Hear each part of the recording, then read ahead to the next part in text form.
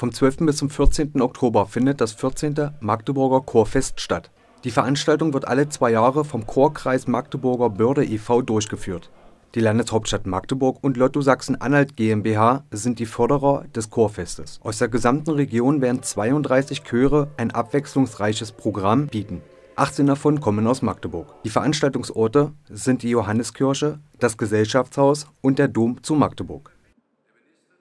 Also das diesjährige Chorfest, das 14. in seiner Reihe, ähm, wird äh, wieder mal ein äh, wunderbares Abschlusskonzert haben.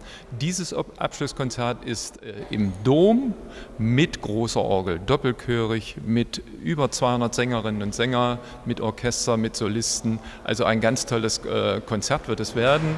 Und es wird auch ein, eine Uraufführung geben, ein Stück von Martin Wagner, unserem Chordirektor des Theaters, ähm, über die Vogelpredigt des heiligen Franz von Assisi. Also ein ganz tolles Konzert. Im Dom wird es aber auch ein am Samstagabend ein A cappella-Konzert geben, was also ganz sicher viele A cappella-Freunde begeistern wird. Und äh, ja, und äh, wir haben natürlich im Gesellschaftshaus äh, äh thematische Konzerte, äh, zum Beispiel ähm, ähm, äh, Konzerte, die sich der Volksmusik widmen, Konzerte, die sich dem, den Seemannsliedern widmen, aber auch Kinderchöre singen dort und es wird Soulmusik geben, es wird, also es werden alle Facetten vertreten sein und eröffnet wird dieses, dieses Chorfest im in der Johanneskirche mit einem Eröffnungskonzert am Freitagabend. Da gibt es die Bandbreite der Chormusik mit den äh, führenden Chören unserer Region.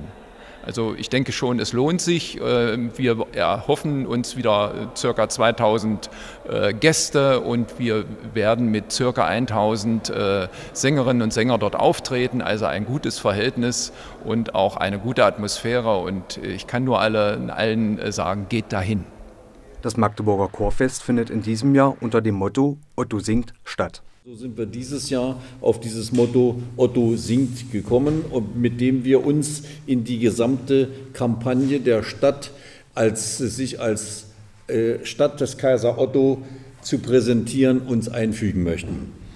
Und äh, seit einigen Jahren sind wir auch dazu übergegangen, die einzelnen Konzerte jeweils mit einem Motto zu versehen, sodass also auch eine bestimmte inhaltliche Richtung erkennbar wird. Und danach werden auch die Programme ausgewählt.